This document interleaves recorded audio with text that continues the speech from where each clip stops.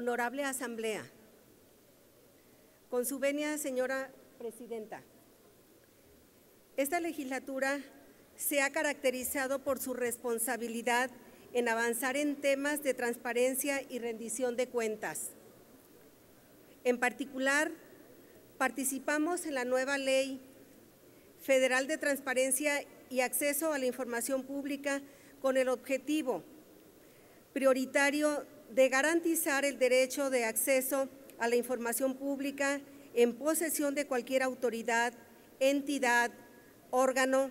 organismo, partidos políticos, fideicomisos y fondos públicos, así como de cualquier persona física, moral o sindicato que reciba y ejerza recursos públicos federales o realice actos de autoridad en los términos previstos por la Constitución y la Ley General de, Transparencia y Acceso a la Información Pública. La trascendencia de estas nuevas disposiciones nos comprometen a armonizar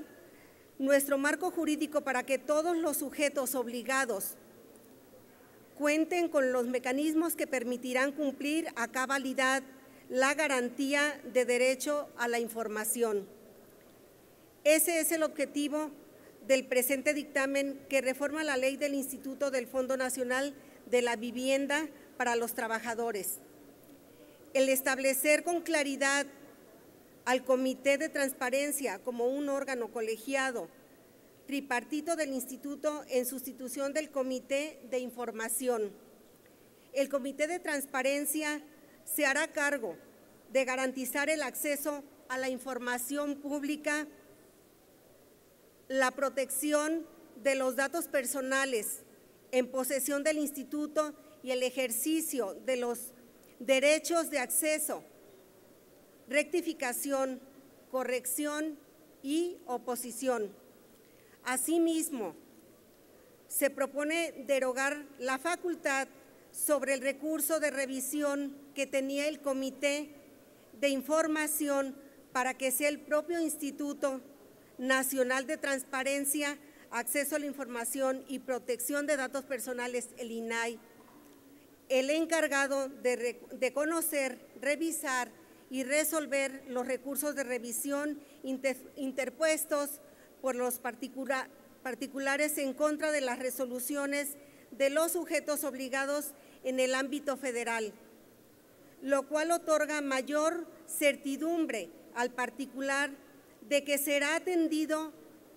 en su solicitud.